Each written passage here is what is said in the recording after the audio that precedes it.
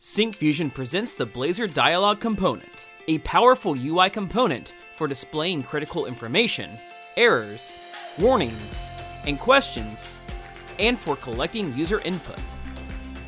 There are two types of dialogues. Non-modal dialogues enable users to interact with the background application while the dialog is active.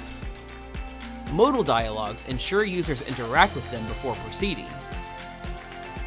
You can close one by clicking on the close icon, using an overlay click, or pressing the escape key.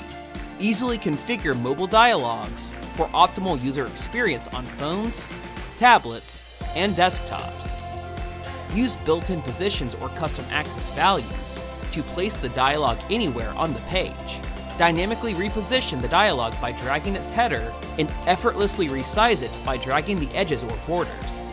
Set buttons inside a dialog for appropriate actions, and customize the dialog appearance to align with your application's branding using templates, CSS, and built-in themes. Enhance accessibility by localizing the default close button's tooltip text.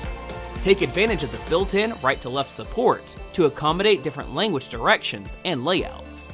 This component has complete WAI-ARIA accessibility compliance for screen readers and assistive devices. Start using the Blazor Dialog component by installing the syncfusion.blazor.popup NuGet package, and take advantage of Syncfusion's fully functional free trial of Essential Studio for Blazor at any time.